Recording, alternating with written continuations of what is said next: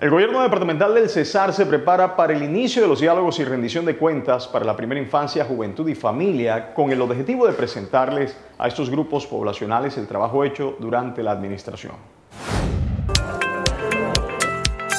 El primer encuentro se dio con jóvenes del municipio de San Alberto. Allí, la administración explicó la inversión del cuatrienio en proyectos de salud, educación, deportes, paz, infraestructura, medio ambiente, oficina de la mujer, entre otros. Inquietudes muchas, eh, dinámicos, eh, muy preocupados por todo lo que pasa cada día en Colombia y ellos quieren buscar sus espacios y su proyecto de vida.